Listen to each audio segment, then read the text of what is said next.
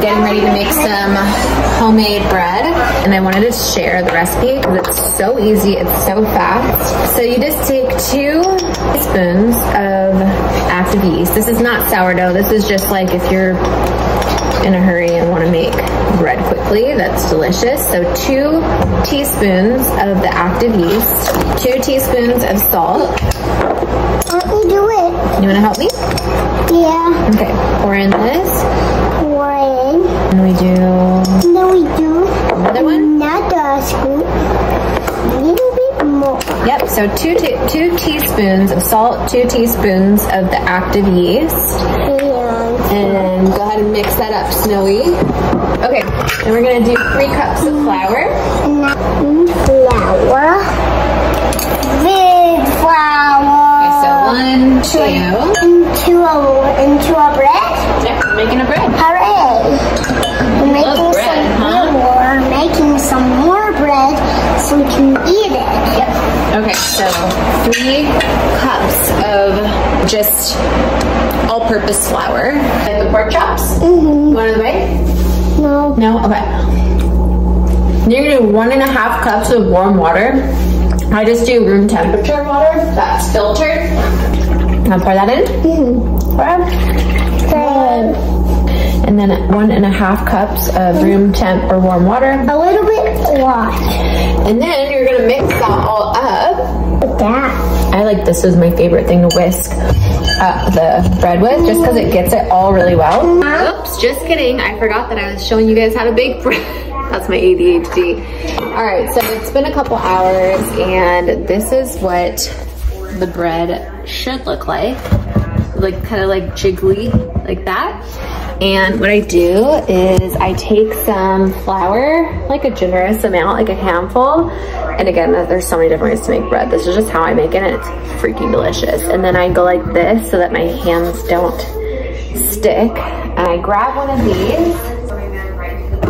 I love these bowls. These are the Ohio Stoneware like heirloom bowls and they're great for baking.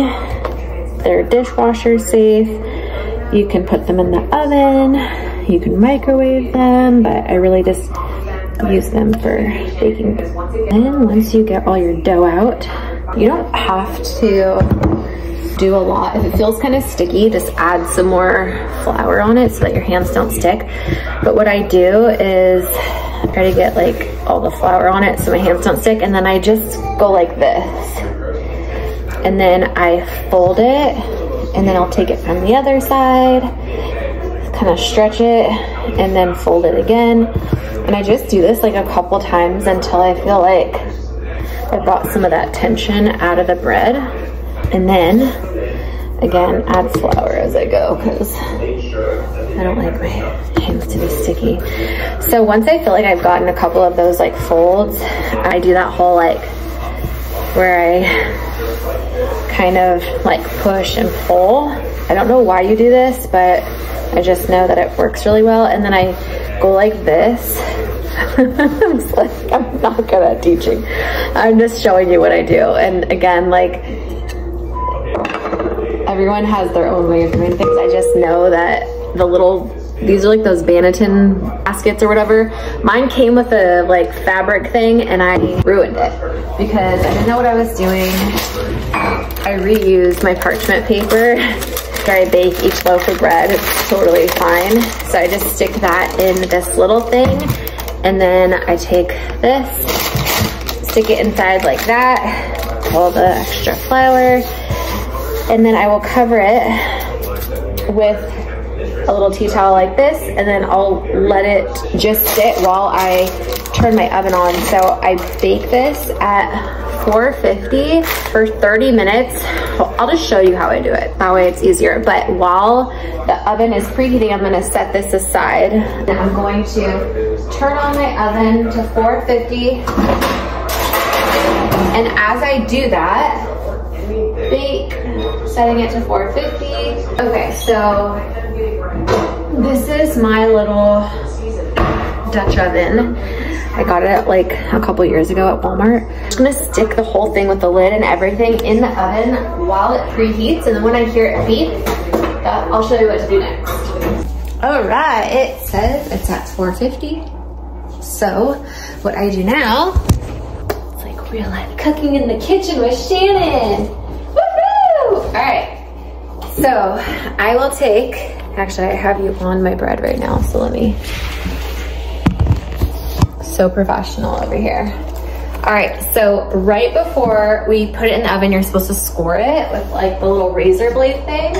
I suck at this. No, honey, you don't get to hold the razor blade.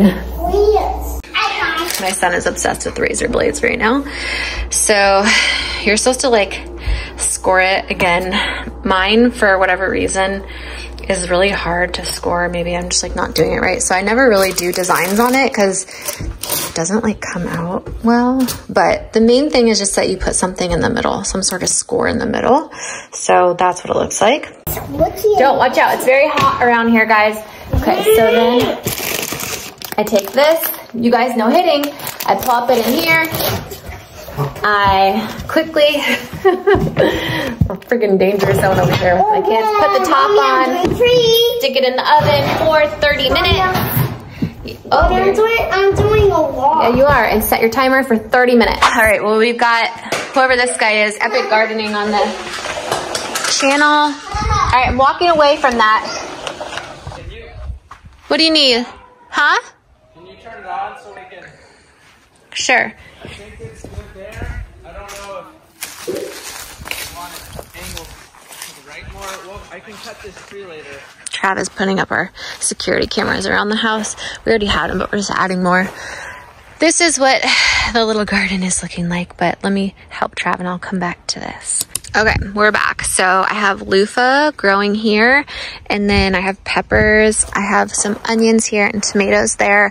And I was a little ballsy and planted stuff before I probably should have, but we're taking the chance. There's still enough time for me to direct sow if I need to, if this all dies for whatever reason.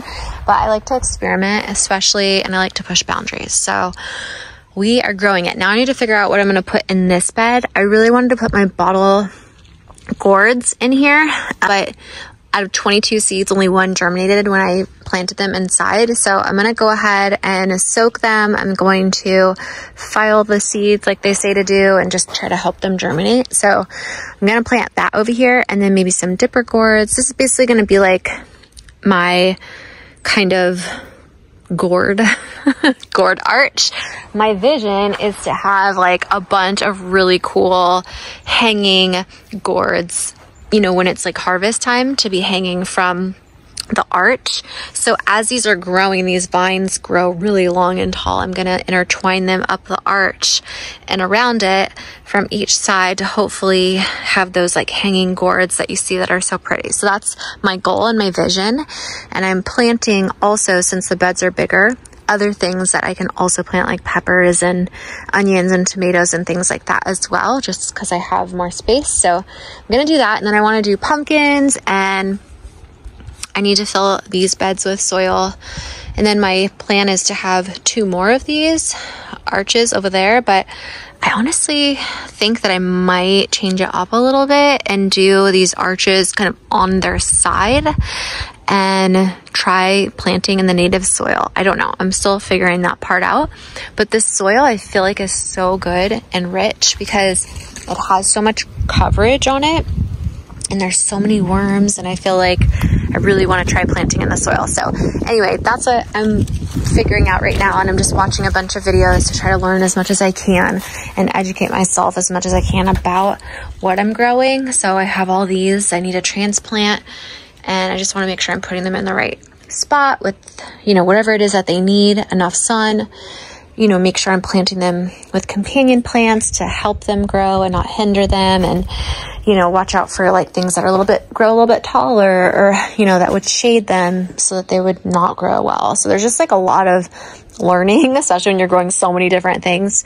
But yeah, I'm just trying to quickly educate myself as much as possible before I kind of throw everything in. So that's what I'm doing, but definitely stay tuned. Follow along for the gardening journey. I hope this was a fun long vlog for you guys. Comment down below. What do you guys want to see next?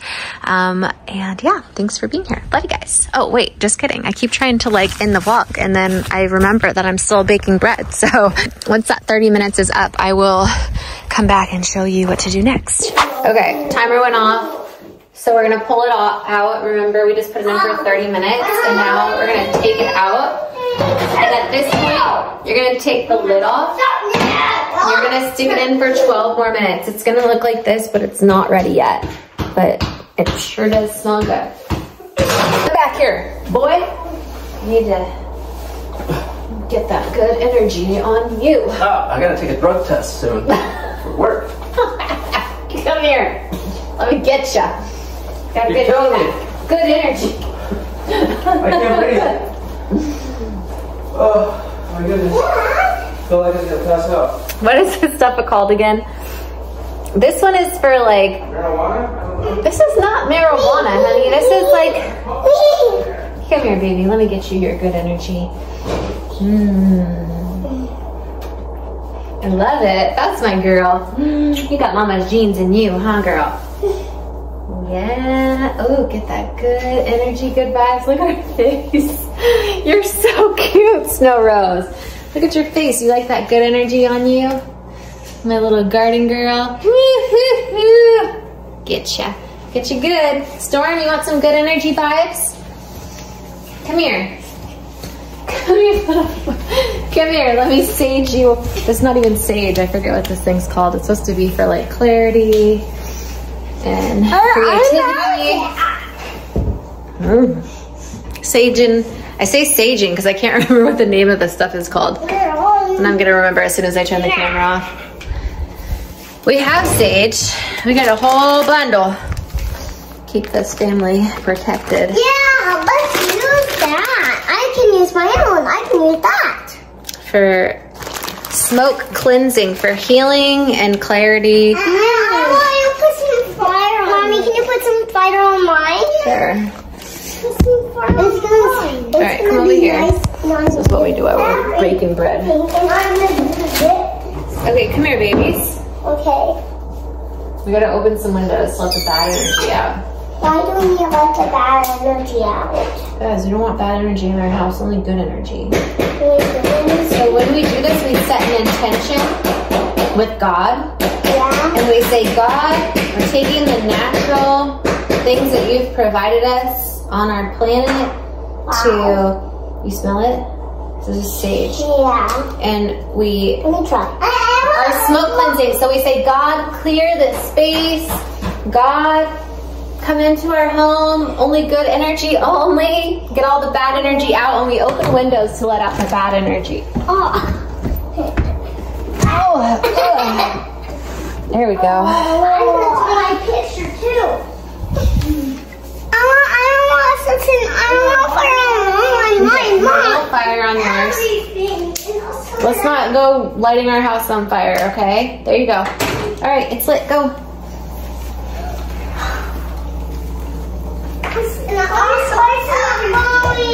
Your babies are. Why are you crying, dude? What's wrong? Honey, it is. It's just magical. Look at their little magical treasures they found outside. Their little flower. Did you just let a stinker on me? Was that a stinker you just let on me? Acorn tops that we'll paint and do crafts with. Their little flowers. Here, is it bothering dad? Hey, you just messed up my project. Oh, honey, I'm sorry. I was just showing everybody what you collected outside in nature. Here, let me put this out. Dad doesn't like it. Yeah? Why didn't you put it out? Well, I don't know. Doesn't like it? Dad says he doesn't like it. Because that will make him pass out. Is that what he said?